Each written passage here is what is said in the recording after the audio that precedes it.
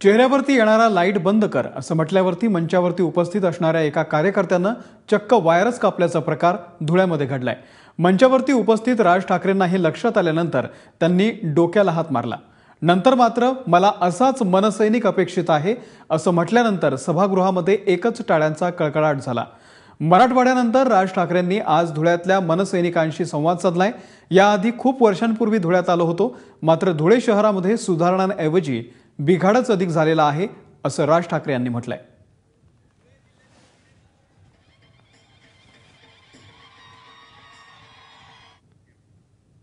या सभेमध्ये राज ठाकरे यांनी नेमकं काय म्हटलेलं आहे पाहूयात. तो बंद करता येईल का दिवा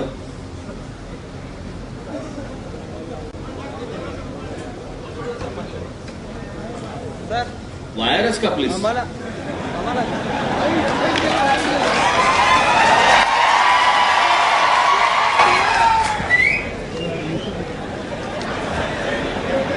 मला असा महाराष्ट्र सैनिक अपेक्षित असतो.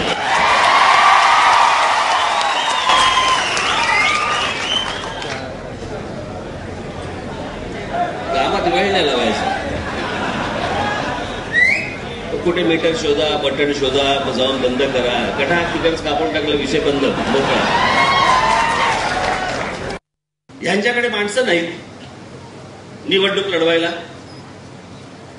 कोणता विचार नाही. शहर कुठे न्यायचं याची काही पत्ता नाही. मागच्या वेळेला ते देवेंद्र फडणवीसने सांगितलं होतं नाशिकबद्दल नाशिक मी दत्तक घेतो. अजून बाप फिरकला नाही.